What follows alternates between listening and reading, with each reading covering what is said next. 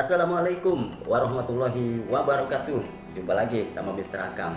Dan Akang yakin kalian pasti dalam badan sehat walafiat. Karena kalau enggak kalian atit siapa yang lihat video Akang? Kali ini kita akan membahas bersama-sama tentang hewan kurban ya. Ngobrol-ngobrol masalah kurban ini fenomenalis ya kan? Kalau kita ngebodor ini lagi ngebodor nih ya, ngomong-ngomong masalah kurban kalau lagi ngebodor nih masyarakat menurut penilaian penelaahan akang nih yang paling uh, suka berkorban itu rata-rata wanita. Ya kan? Terbukti dalam angka statistik bahwa wanita itu adalah uh, orang yang sering berkorban perasaan. Terus kalau mau pesan hewan kurban nih akan saranin. Jangan dari kuningan ya pokoknya jangan dari kuningan aja. Dari mana kek? Karena kalau kita pesan hewan kurban dari kuningan susah motongnya. Kan keras kuningan mah. Keras dia mah ya. Apalagi dari baja. Aduh lebih keras lagi ya. Candaan yang kita lagi ngebodor nih. Kemudian menyembeli hewan kurban ini harus benar-benar siap nih. Panitia nih ingat. Nyembeli hewan kurban itu jangan pakai sendal. Nggak boleh nggak boleh pakai sendal ya. Coba aja kalau nggak percaya tuh hewan kurban potong pakai sendal. Susah ya. Nggak bakalan putus lehernya. Pakai golok yang tajam. Yang pakai sendal. Ya memang dari zaman dulu orang-orang tua kita nenek moyang kita sudah terbiasa berkurban. Bahkan ada di Indonesia artis yang pertama kali apa menyarankan untuk berkorban dan mencuat gitu kan. Siapa kamu tahu. Pak Rama ya kan ada itu. Lagunya ada filmnya ada. Pengorbanan pasti dibutuhkan. Dalam setiap perjuangan. Ya kita kan berjuang mendapatkan dari Allah Subhanahu wa taala. Berjuang ingin mendapatkan surganya Allah Subhanahu wa taala. Salah satunya kita harus berkurban. Betul itu Pak Haji. Nah hewan kurban yang diperbolehkan untuk dikurbankan adalah jenis-jenis hewan ternak. Contohnya seperti unta, sapi, kerbau, ya, kambing, domba. Nah, ini hewan-hewan ternak untuk berkurban. Boleh ya. Ini syarat pertama. Jadi syaratnya harus hewan ternak. Ya, jadi jangan mentang-mentang jawara, ntar kurbannya harimau. Wah, siapa yang mau makan dagang harimau? Waduh, bisa belang kita jangan mentang-mentang tukang sayur di pasar dagang kurbannya tempe. Nggak boleh ya. Jadi kurbannya harus hewan ternak ya kan? Lalu bagaimana dengan hewan-hewan unggas? Biasa nggak boleh. Seperti burung bebek ya ayam bango nggak boleh pakai kurban. Nggak bango pakai kurban bango buat kecap kecap bango ya. Nah kalau burung bisa dipakai kurban repot pada saat hari raya Idul Kurban, wow pada kabur semua cowok. Takut burungnya dikurbanin. Aduh, bercanda itu mah bercanda. Ya, jadi yang boleh itu yang pertama syaratnya hewan ternak. Yang tadi akan sebutin unta, ya kan sapi, kerbau, kambing, domba itu ya. Syarat yang kedua, hewan kurban yang akan kita jadikan sebagai ibadah kurban tersebut itu harus mencapai usianya yaitu minimal usia yang sudah ditentukan oleh syariat kaidah Islam ya. Contohnya unta nih. Itu unta harus sudah berusia lima tahun dan masuk ke enam tahun. Boleh pakai kurban. Kalau belum sampai lima tahun jangan dulu ya.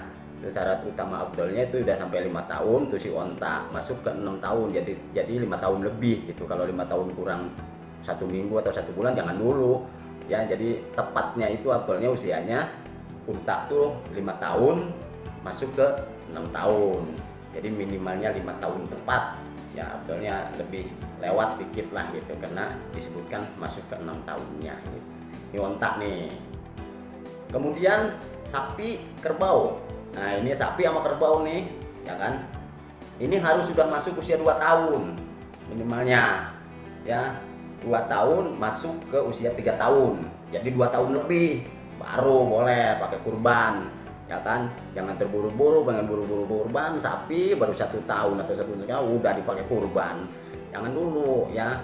Jadi nunggu dua tahun. Pas masuk dua tahun masuk ketiga tahunnya boleh kita pakai kurban. Sapi ya. Kemudian kambing domba.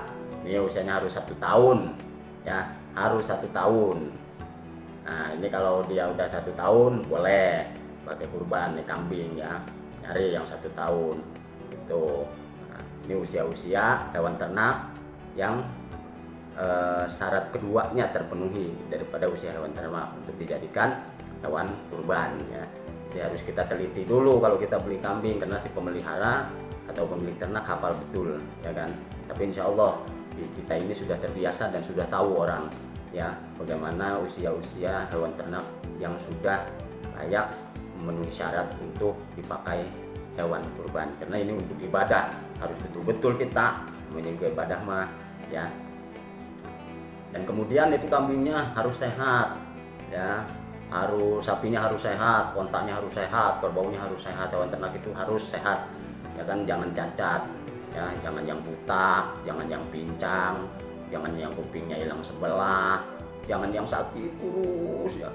Kang terus nyiriin hewan kurban sakit bagaimana kita? Ya kita kan tahu lah paling tidak tuh sapi pasang koyo lagi sakit. Ya bercanda itu mah. Nah kita tahu kalau hewan lagi sakit mah ya kurus begitu dagingnya juga. Ya bisa dalaman bagian dagingnya itu. Kalau hewan sakit itu kan kurang bagus dagingnya ya jadi kalau yang kurus-kurus sakit merenyik lah kalau kata bahasa Jepang ya. Jangan dipakai kurban yang begitu nyarinya ya yang harus yang sehat yang gemuk-gemuk gitu ya yang bagus lah yang sempurna gitu ya. Nah itu ya yang seperti itu hewan-hewan ternaknya yang kita cari yang untuk uh, kurban ya. Lalu bagaimana kita pengen berkurban nih? Terus nggak mampu sendiri. Ya kan kalau bahasa keren sekarang mah apa ya kalau bahasa dulu mah patungan. Kalau bahasa uh, modernnya mah kolektif lah. Di kolektif gitu. Nah itu boleh. Satu ekor sapi tujuh orang umpamanya gitu ya. Kerbau buat tujuh orang gitu. Nah, terutama kolektifannya itu kalau bisa keluarga besar dulu nih. Ada paman ada uang ya ada encang ada encing ada babe ada nyak ada suami istri ada bapak ada ibu ada anak yang kan? Ada ponakan ada paman tuh sampai tujuh orang tuh berembuk. Satu ekor sapi tuh ya. Keluarga dulu lah. Kalau kurang juga teman terdekat ajakin. Ya nggak ada juga ya seagama lah. Ya tetangga apa kita ajakin tuh buat tujuh orang. Ini karena pahalanya yang sangat besar dan sangat agung ya di dalam berkurban ini. Maka boleh jadi satu ekor unta tujuh orang. Kalau di kita di Indonesia nih banyaknya kan sapi kerbau ya satu ekor sapi buat tujuh orang satu ekor kerbau buat tujuh orang ya. Itu namanya kolektif bareng-bareng gitu kan. Patungan kalau kata orang tua kita dulu mah ya kan. Gotong royong.